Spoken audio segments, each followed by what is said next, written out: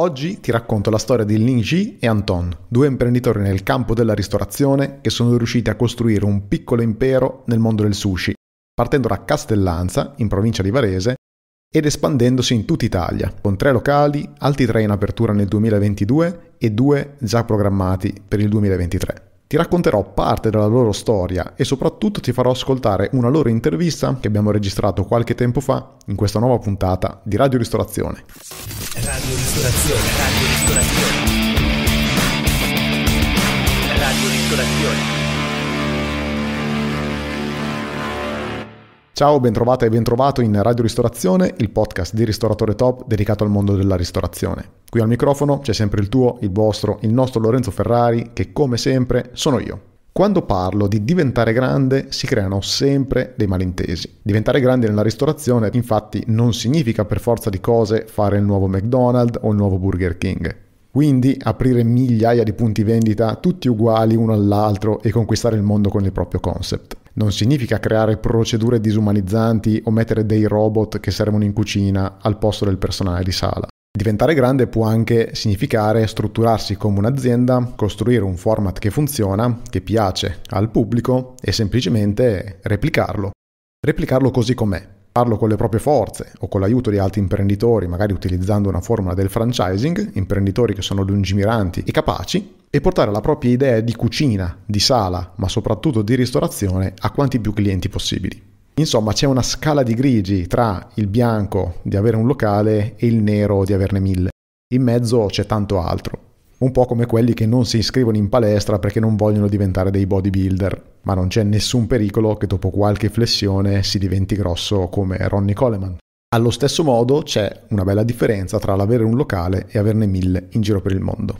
Ci si può anche fermare a 2, 3, 5, 10, a seconda appunto delle proprie ambizioni. Ecco, diventare grandi, tuttavia, è ciò che hanno fatto e stanno facendo Lingji e Anton, due imprenditori bravissimi nel campo della ristorazione e del format che abbiamo creato insieme, K Kaiseki. Come ti diremo nell'intervista, il Kaiseki è un percorso di degustazione tipicamente giapponese che noi abbiamo rivisitato, adattato e portato in Italia. Il merito di tutto ciò, bada bene, non è di Ristoratore Top, ma è di Linji Anton, che sono stati loro ad averlo sviluppato e portato in Italia. Noi li abbiamo semplicemente supportati nella fase iniziale e con qualche ritocco qua e là in una seconda fase poi di fidelizzazione. Negli anni il format si è evoluto tanto e ora non propongono soltanto il Kaiseki appunto, ma anche una formula che hanno chiamato Kaiseki Unlimited, cioè un all you can eat di fascia alta. Se guardi le presentazioni dei piatti non farai fatica a capire che cosa intendo quando intendo sushi di fascia alta. Infatti più che piatti sembrano delle vere e proprie opere d'arte. Lavoriamo insieme dal 2015, quando Ling acquistò il primo corso in casa ristoratore top, doppio dicembre, di cui ti parla anche nell'intervista. Formalmente invece abbiamo iniziato una collaborazione di consulenza nel 2018 quando l'Ingi ci diede l'incarico di trovare l'identità differenziante del loro nuovo locale. Identità differenziante appunto che poi si tramutò in Kei Kaiseki. Dopo un primo periodo dove abbiamo messo a posto appunto il format, gli presentai loro Andrea Langhi, l'architetto dei locali, che sicuramente conoscerai se segui questo podcast, che gli aiutò nella realizzazione di un locale dal design ricercato ed elegante, bellissimo come tutti i locali che portano la firma del buon Langhi. E da lì iniziò tutto. Aprirono il primo locale nel 2019, poi due nel 2020, in anno di pandemia, complimenti a loro, altri tre in apertura sono quest'anno e due l'anno prossimo. Milano, Venezia, Napoli, Arcore e tante altre location che avranno la fortuna di provare l'esperienza Kaiseki. Insomma, siamo stati testimoni di una bellissima storia che sta ancora venendo scritta proprio mentre registro questa puntata e non vedevo l'ora di condividerla con te. Io se guardo al passato vedo due persone, Linji e Anton appunto, capaci e intraprendenti, con un sogno nel cassetto e tutte le carte in regola per realizzarlo. Oggi invece, nel presente, ho visto due imprenditori fatti e finiti, lucidi e capaci, con in mano un format con un potenziale internazionale. Se guardo nel futuro non vedo sei locali, ma molti, molti di più. Credo e spero che il loro futuro sarà davvero roseo. Ma bando alle ciance e ciancio alle bande, ti voglio lasciare all'intervista. Sentirai qualche rumorino qua e là perché abbiamo registrato in mezzo alla preparazione del locale per il servizio del pranzo, ma so che non ti scandalizzerai nell'ascoltare persone che lavorano e semplicemente si preparano alla battaglia. Rimani connesso perché non soltanto uscirà il podcast, ma uscirà anche una bellissima video intervista sui nostri canali e stiamo finendo in questi, in questi giorni l'editing. Se non vuoi perderla, anche per gustarti diciamo, la qualità delle immagini del Kaiseki e la mia brutta facciona, Puoi iscriverti al canale YouTube di Ristoratore Top per non perderla. Un primo video, il primo di una lunga serie di interviste ai nostri clienti che sono felici di metterci la faccia. Ti lascio all'intervista tra me e Lingi. Purtroppo Anton quel giorno non c'era. Lingi, raccontaci un po' come sei finita a lavorare nel magico mondo della ristorazione. Allora, diciamo che sono, ci sono caduta dentro perché mm, quando avevo 21 anni i miei genitori hanno deciso di aprire un ristorante uh-huh. e noi provenivamo proprio da un mondo completamente diverso, Face, facevamo i divani, tuttora i miei genitori fanno i divani. Questi li avete fatti voi? Esatto, e quindi cioè, sono, sono, sono stata buttata dentro, ecco sei capitata nel mondo della ristorazione. Esatto, esatto. Il primo locale era sempre un sushi? Uh, sì e no, era un all you can eat uh, stile vecchio, wok, uh, okay, wok, self service, uno di quelli che andava molto in voga certo. dieci anni fa. Ecco. E tu avevi 21 anni, quindi eri davvero giovanissima sì, quando hai sì. iniziato a lavorare nel mondo della ristorazione, era un altro mondo rispetto sì, ad oggi. Assolutamente, sì, sì. E mm, quando è che ti sei resa conto che in qualche modo dovevi cambiare qualcosa e che rispetto al modello di gestione di prima non eri così efficace?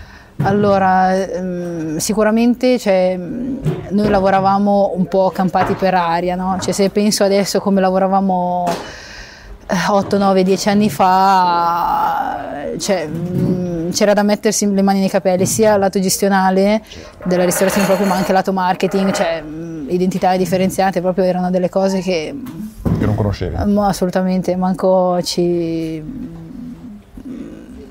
Manco, cioè, neanche anche se tu mi dicessi la, queste cose qui non, non, non, non, sarei riuscita a capirle insomma. Cioè, non avevi consapevolezza che ci assolutamente, fosse, che della loro esistenza. Sì, sì, sì, si pensava che si viveva la giornata, quindi... Certo. Eh... E quando è che ti sei iniziata ad avvicinare al mondo di ristoratore top? Immagino con doppio dicembre, mi sì, Sì, sì, sì, con doppio dicembre nel 2015-2016 eh, vi ho scoperto così in, non so se, forse ho fatto una ricerca su Google uh-huh.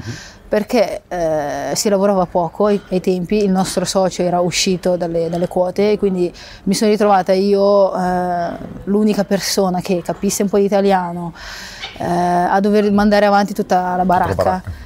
E quindi un giorno ci eravamo talmente preoccupati che non c'era tanto lavoro e ci siamo detti, boh, faccio una ricerca su Google, ho detto, e, non so, forse ho scritto come lavorare di più nei ristoranti o qualcosa del genere e sono capitata in un articolo di blog uh-huh. del, del, tuo sito sì.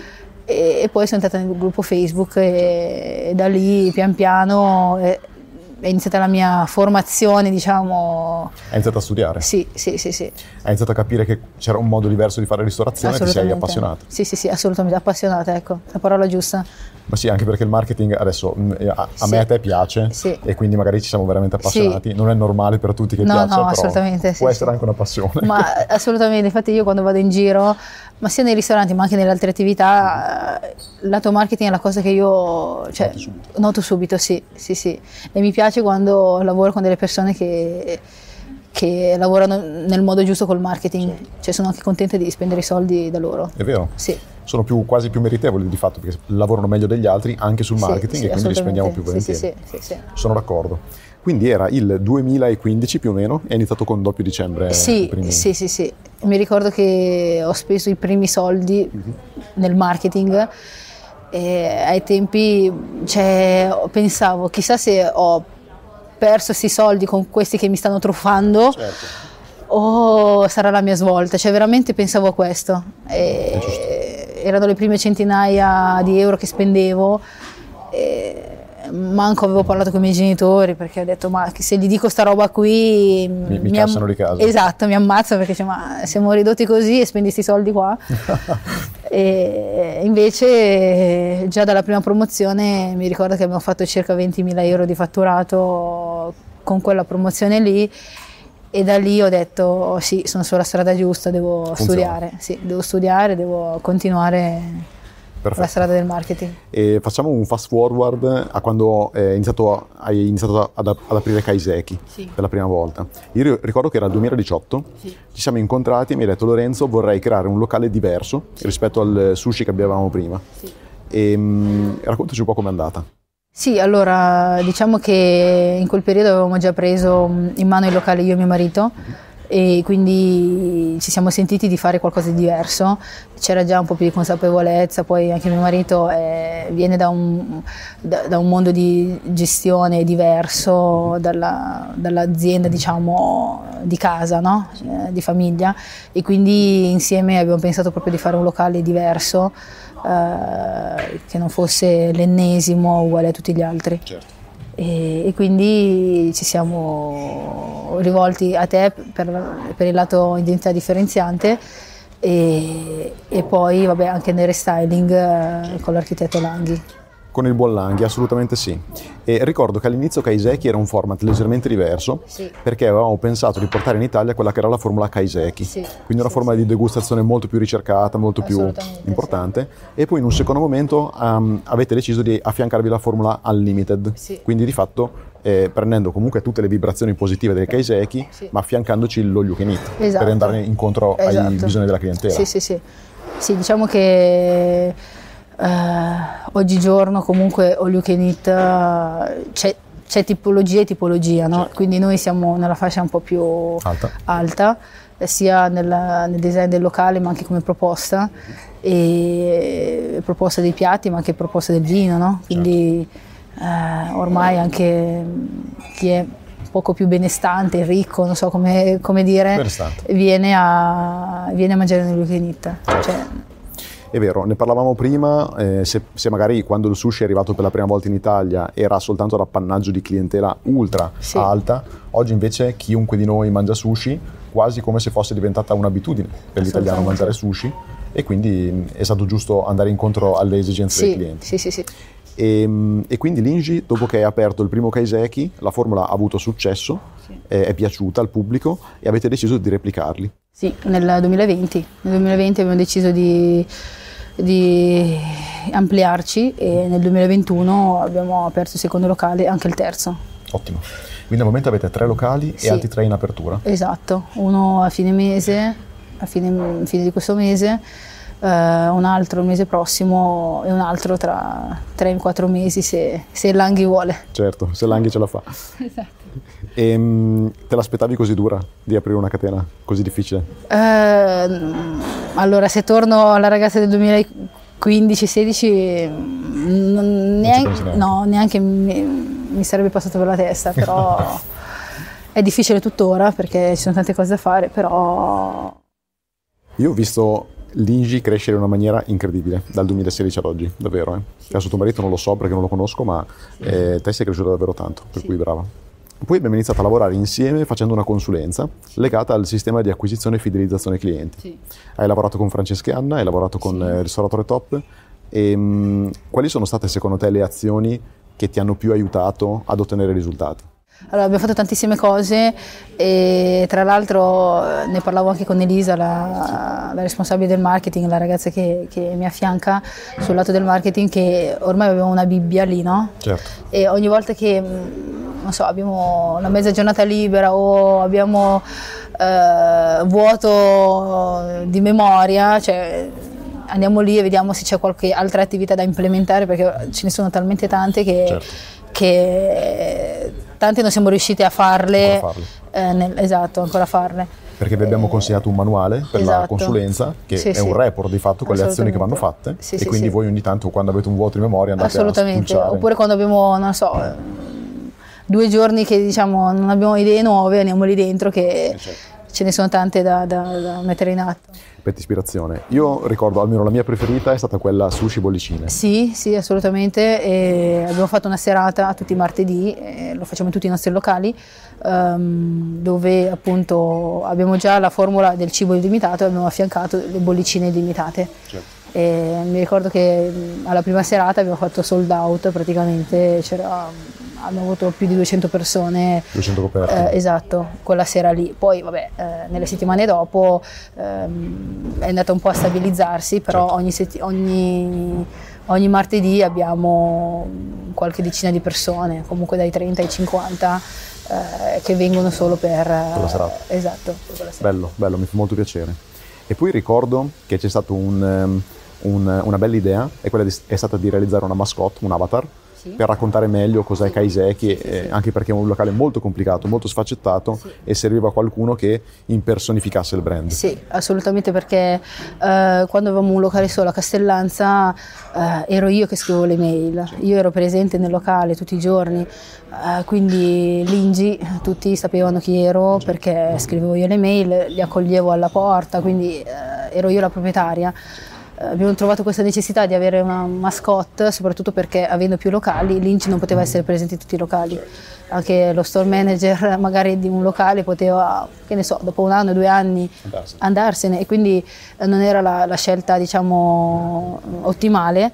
Eh, la, la, la, cioè la, persona che scrivesse, quindi abbiamo pensato a Kiki che è una, una ragazza, un avatar, una ragazza giapponese molto eh, carina, molto pazza, molto mm. curiosa, che appunto mm, porta tutte le novità del Kaiseki ai nostri clienti certo. e, mm, e, poi settimanalmente porta uh, i clienti a fare un viaggio, no? quindi l'abbiamo chiamato anche il viaggio di Kiki che è questo appunto viaggio che questa ragazza molto curiosa uh, porta tutti i clienti a scoprire delle novità del Giappone, su, scoprire delle novità sul, sul, modo di essere dei giapponesi, sul modo di, eh, di fare fare dei giapponesi o delle feste, delle, certo. delle curiosità. curiosità. Esatto, sì, sì, sì. Sul mondo nipponico. Esatto. Molto interessante. Perché consiglieresti il ristoratore top a un altro ristoratore, se lo consiglieresti? No, io assolutamente lo consiglierei, uh, soprattutto a chi ha la consapevolezza di voler crescere, di voler fare marketing in modo diverso, diciamo, nel modo giusto, anzi. Certo. Perché, anzi, l'ho, l'ho già consigliato a tante persone, uh-huh. però mh, mm, non, non, tutti vabbè, riescono a capire questa cosa, certo. dipende un po' dalla consapevolezza della persona, però perché lo consiglierei soprattutto perché bisogna essere differenziati, cioè differen- bisogna Diverso. essere diversi dagli altri e quindi quale modo migliore che affidarsi a dei professionisti. Grazie. Bene, hai ascoltato l'intervista, spero che ti sia piaciuta. Ti ricordo di iscriverti al canale YouTube di Ristoratore Top per non perdere poi il video dell'intervista quando uscirà sui nostri canali. Ti ricordo anche che se vuoi partecipare alla primissima edizione di Food Expansion Mastery, il nostro corso dedicato ai pochissimi imprenditori italiani nel campo della ristorazione che vogliono diventare grandi, hai ancora qualche giorno per acquistare il tuo biglietto alle migliori condizioni. Puoi andare su www.foodexpansionmastery.it per tutte le informazioni, rimangono ancora una manciata di posti e spero proprio che tu sarai tra le persone in aula perché sarà un corso davvero rivoluzionario e davvero importante. Prima dei saluti ti ricordo due cose. La prima è di condividere Radio Ristorazione con i tuoi colleghi, con i tuoi collaboratori e con chiunque possa usufruirne. La seconda cosa è che se hai voglia di seguirci fuori dal podcast hai due modi. Il primo è di cercarci su Facebook Ristoratore Top il gruppo e secondo invece scaricare i casi studio gratuiti presenti sul sito www.ristoratore.top.com. Noi ci sentiamo nella prossima puntata di Radio Ristorazione, non perderla e come al solito, dai cazzo! Radio Ristorazione, Radio Ristorazione.